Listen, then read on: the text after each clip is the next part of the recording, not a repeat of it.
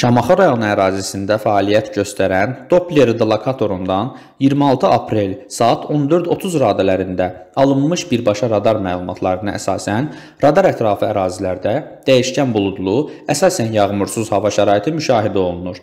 Lakin Goranboy, Tərtər, Yevlax, Naftalan rayonlarının bəzi yerlərində arabir zəif yağıntılı hava şəraiti müşahidə olunur.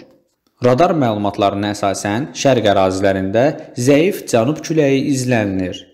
Radarın proqnostik məhsullarından alınmış məlumatlara görə, yaxın 2 saat ərzində radar ətrafı ərazilərdə əsasən yağmursuz, buludlu hava şəraitinin davam edəcəyi, mərkəzi Aran, Dağlıq Şirvan, Quba Xaçmaz iqtisadi rayonlarının ayrı-ayrı yerlərində arabir yağıntılı olacağı proqnozlaşdırılır.